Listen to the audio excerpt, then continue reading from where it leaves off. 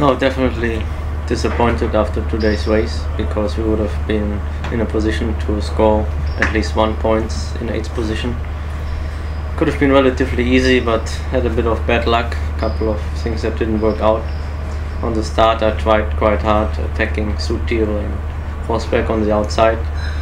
They pushed me wide, and um, due to that, I lost some more position. But that can happen. That's racing. It was just unfortunate, and then found myself back in P12 could have been a lot a lot better.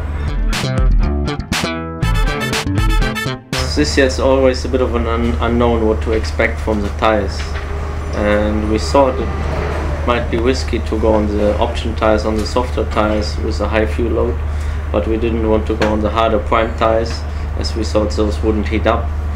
It was a bit of a gamble but um, yeah it was not perfect but that was not why we didn't score points.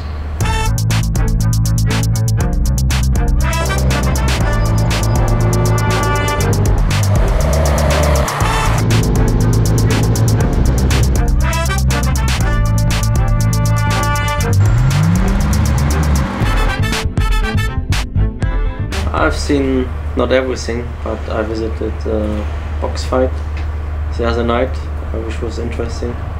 First time seeing that live, and um, I wish I wish um, the new Nürburgring and the Nordschleife good.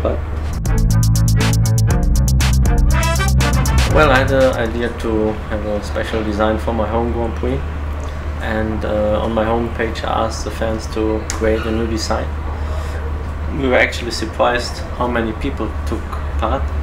We had more than 9,000 designs and um, for me that one was clearly the best one. You can see that I drove it during the race and it will now be auctioned. As you can see here on top. We will auction it together with RTL at the Spendenmarathon and I'm sure you will find a link on my homepage and you can bid for it.